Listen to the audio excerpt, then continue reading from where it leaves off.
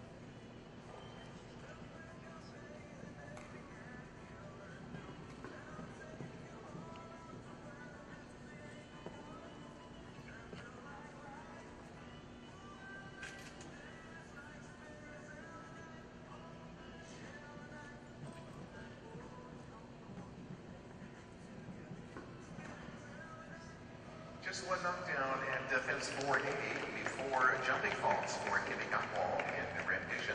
Time on the course was 64.